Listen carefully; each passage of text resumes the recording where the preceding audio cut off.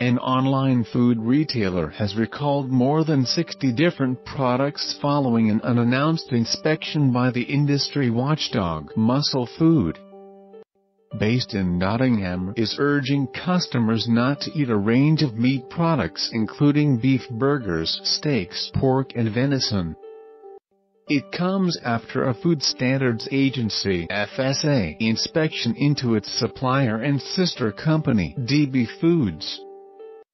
Found use-by dates on some products fell short of legal requirements. The labels indicated use-by dates that exceeded the 10 days permitted by the FSA. Muscle Food sells high-protein food online, including lean meat and vegan substitutes directly to customers through its website. It also supplies pizzas to Sainsbury's although these are not affected by the Recall the affected products were sold between January 25 and February 3, 2018. Customers who have bought the affected products are advised not to eat them although an FSA notice said there is no indication that anyone has fallen ill.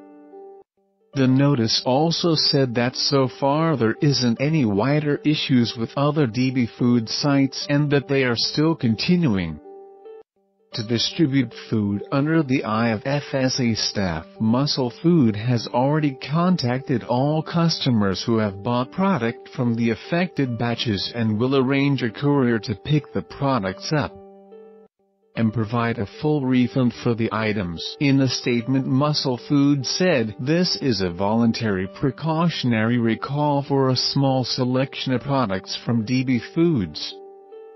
Delivered to a small selection of customers between the 25th of January and 3rd of February due to concerns on supplier applied use by dates. Muscle Food never sacrifices our incredibly high quality standards for our customers.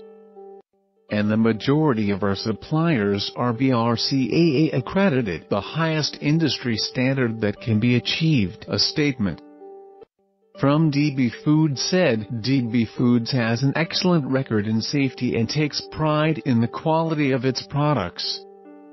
We will continually work to ensure that this quality is not compromised.